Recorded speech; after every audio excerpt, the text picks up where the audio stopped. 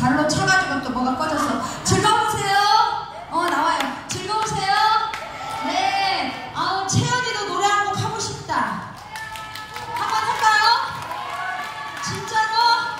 아 근데 진 오빠가 저렇게 난리를 치고 가가지고 내가 어쩔지 모르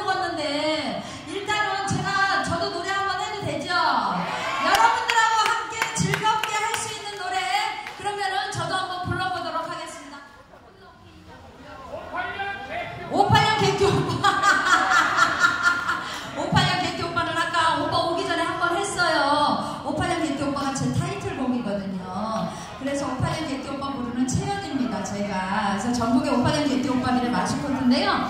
월미도에서 이제 58년 개교 오빠를 많이들 사랑해주고 계세요. 근데 이번에는 어, 제 노래 모두 다 오케이라고 신곡이 나왔어요 저도. 그래서 이제 모두 다 오케이 저도 신곡 좀 밀어보려고 그러고요. 그 사이에 여러분하고 즐길 수 있는 노래 한 곡 제가 부르고 하려고요. 자